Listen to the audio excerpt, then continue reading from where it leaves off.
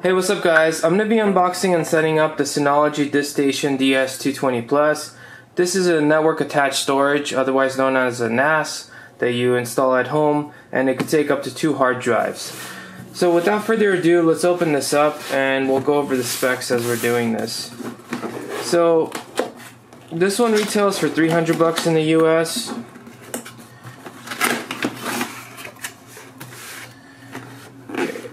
So this is the station, obviously, nicely wrapped and everything. Let's open this up.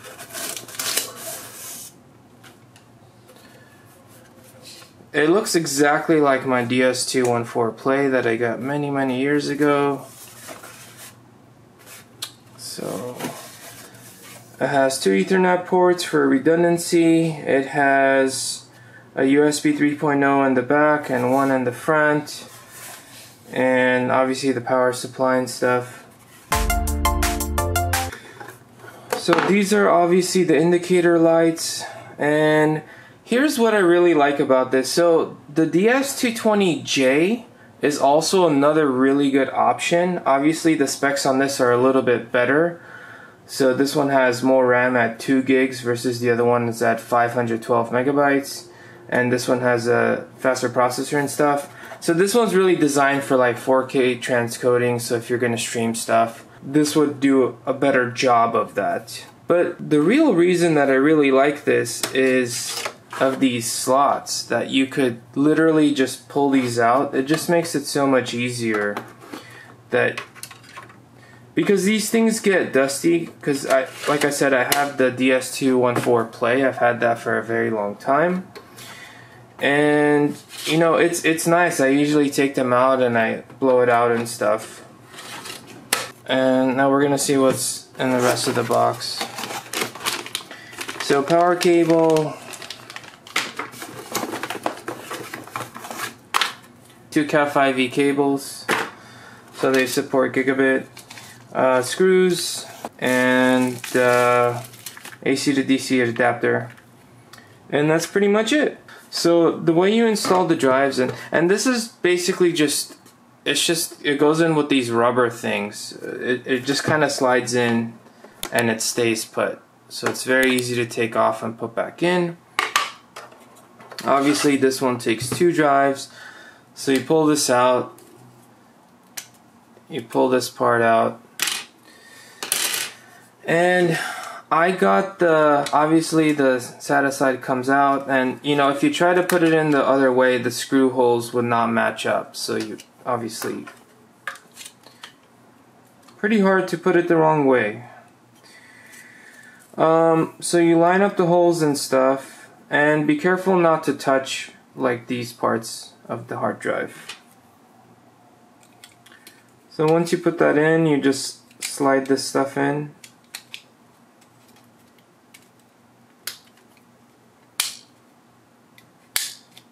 Make sure it snaps.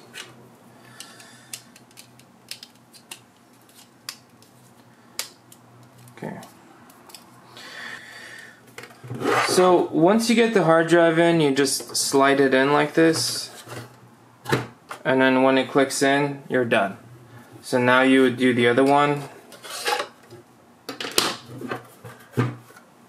I got the hard drives designed for a NAS do you need to get a hard drive designed for NAS? No, you could just put in a regular hard drive in there.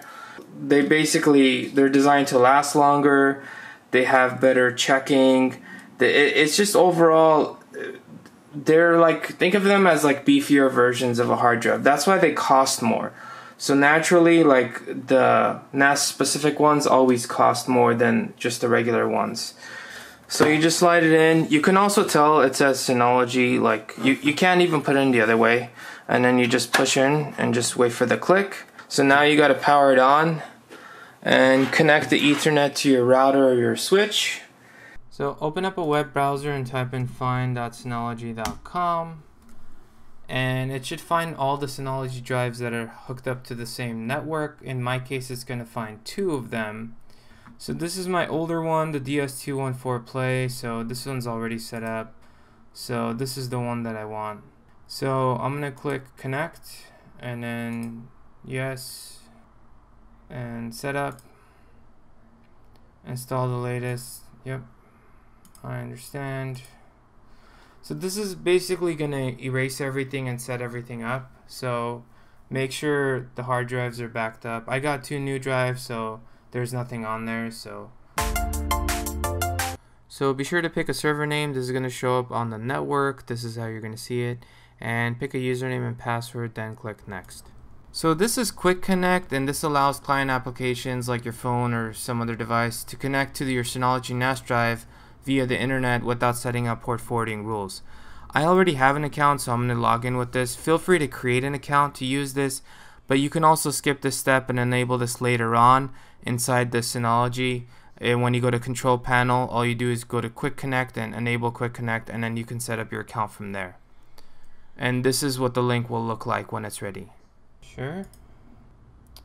Yeah, so Synology automatically updates. No thanks. Okay, so this is basically your statistics. This is like your profile and stuff. And, you know, you could restart and everything from here. I basically install a few things. So you could go to the package center and basically say yes. So they have a whole bunch of stuff in the package center and if you click on install obviously tells you what's installed and whatnot and you could you could basically update all file station is very very useful and it's a good thing they installed it had they not I would have installed it myself but this basically shows you everything that you need to see so in my case because I have two brand new hard drives I actually have to click and actually like create them so I'm going to click on volume and then I'm to click on create. I'm just going to click on custom, create a new storage pool, better performance. So RAID 1 is data mirroring. So basically whatever you copy here, it copies it to both hard drives. So if one hard drive fails, you still have the data. I'm just going to pick RAID 0. Now RAID 0 increases your performance and has no fault tolerance whatsoever. I'm going to get 10 terabytes plus 10 terabytes, so it's going to give me 20 terabytes essentially, or the fake 20 terabytes, because the 10 terabytes really like 9 terabytes, so it's going to be like 18 something. The problem with this is if one of your hard drives breaks, you pretty much lost everything.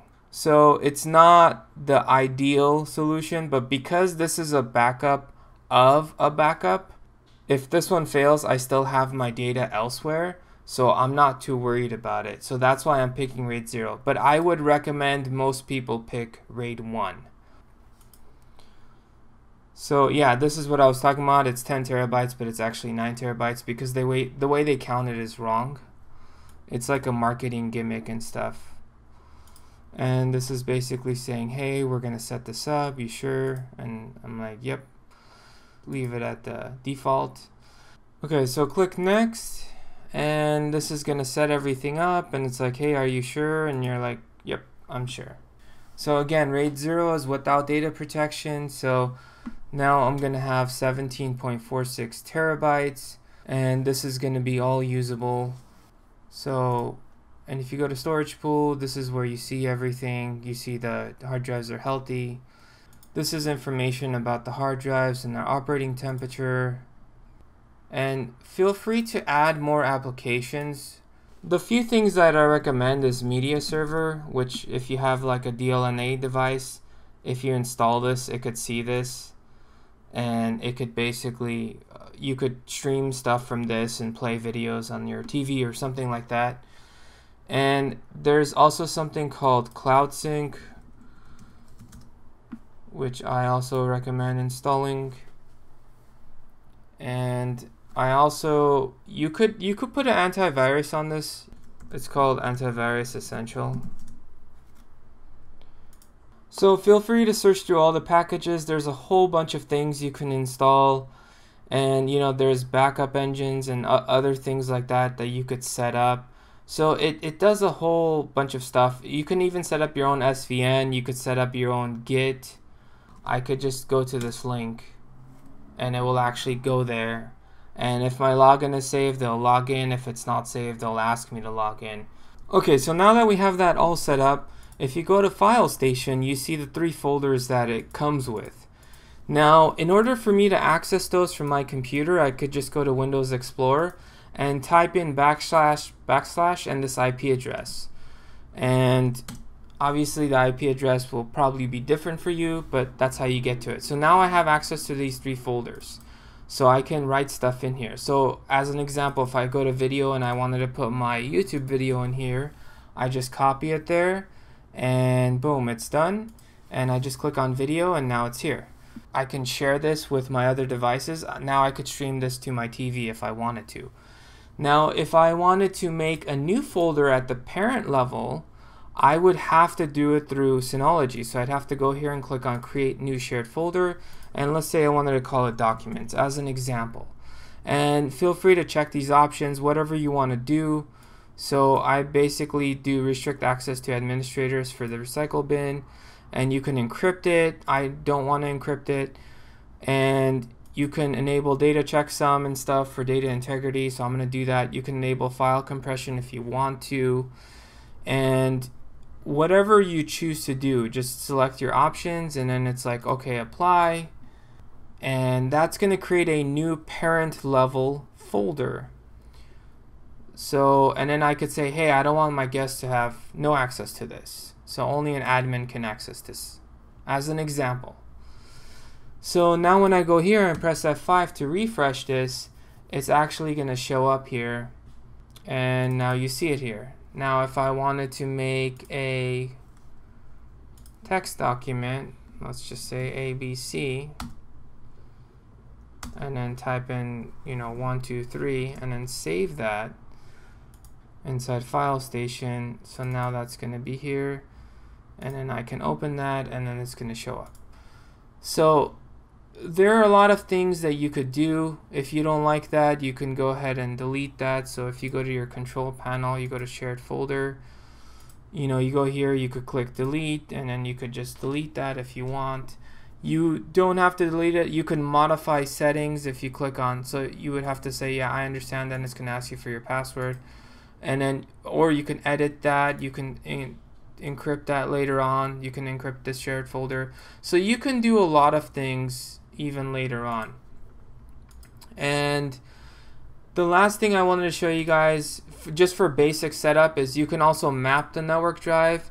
So let's say I wanted to map it to my P drive. So I would type in 192.168.86.229 this alone won't work. So if I try to map it to, to that, it's not going to work. It's going to say, hi, I don't know what you're talking about. That's because you actually have to put the server in the share folder. So if you put video, now you could do that. And so when I go to video, I will actually see that. Hey, what's up guys? I'm to show you and that's the video. So basically you could map a shared folder, but you can't map the whole thing itself. Let me demonstrate what I mean by these things get dusty. And I pop this out, same style. This is all dusty, and it's beyond dusty. And my SD card and my USB is dusty. And then the same type of thing. What I do is I pull this out, and then I just uh, use the Metrovac, and then I just blow on this from a distance with the Metrovac. These hard drives, see these are, I have old hard drives in here. This is, because this one's limited on size as well. But this is a 3 terabyte drive. And, you know, I didn't get, I just got this hard drive. It wasn't a NAS specific one or anything like that. And it's been fine for at least six years. So this is an old, this is actually a nine year old hard drive and it's been fine and it's been sitting in my NAS for many many years. Okay, so I cleaned my DS214 Play in about 3 to 4 minutes or so. So you could see it's nice and clean. I mean, not insanely clean or anything like that, but I'd say it got rid of 90% of the dust in all about 3 to 4 minutes. So that's why I like this design and that's why I opted to get the DS220 Plus. And plus I also like Synology because I've had this for 6 years or so and it's been working great.